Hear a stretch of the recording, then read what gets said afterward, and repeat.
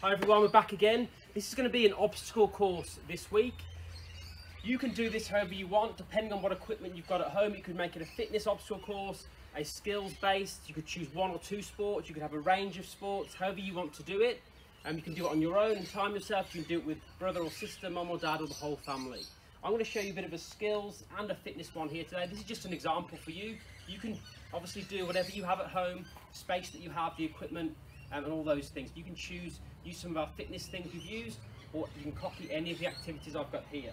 So I'm going to start, I'm starting point, I've got my tennis racket, lots of you have tennis rackets at home and a tennis ball. I'm just going to practice keeping the ball up in the air. So some of you may just be confident with this, see how many you can do before the ball hits the floor.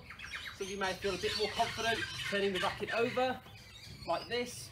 You may um, have a wall and you may want to hit against the wall, see how many hits against the wall you can do. You may have a brother or sister, you may want to do a bit of a rally with them, that's up to you. So you can have a set time, you can say 30 seconds on that, put it down, you're then going to move on to the next one. I've got a volleyball here, so we do a lot of volleyball, Newcombe, volley stars at school. I'm going to practice just setting the ball above my head. So notice I'm using my fingertips 10 fingers in the air and I'm pushing to the sky with my fingertips. Watch again, count them, two, three, four, five, six, seven. You can see how many you can do or have a time limit again. Put that down, running over here. Got a soccer ball. We'll do some soccer activities in a couple of weeks. For this one, you may want to do sole taps. So nice and slowly. You may want to go quicker, see how long you can do it for. You may want to um, do some side to sides, and try and keep looking forward. And or you might want to do some juggling. So depends on how confident you are. You may want to drop the ball, kick, catch. Watch again, drop, kick, catch. If you're more confident, you may want to just try and do two in a row, and then catch, and then try and do three in a row. And the more confident you get, you may want to try and beat your top score, as many that can be. Remember, you can't use your hands. Also, Hopefully your dog doesn't get in the way. So can't use your hands, but you can use any other parts of your body for the soccer one. Coming over here. Bit of fun with some throwing, catching, one-handed. Try some throwing up and catching behind your back.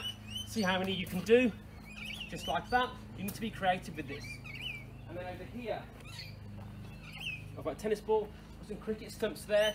You might have cricket stumps, you might have a cone or something different to use as a target.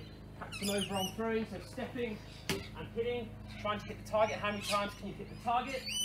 You then dedicate a fitness area where you can do a range of fitness activities. So it might be some uh, pop squats, which is going down the normal squat and then pushing yourself back up into a jump. It might be some core work that we've done. So for example, we've done the shoulder taps before.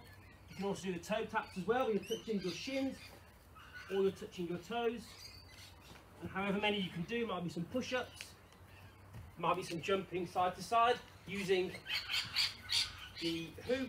It could be some mountain climbers. You're trying to go as fast as you can, bringing your knees up to your chest.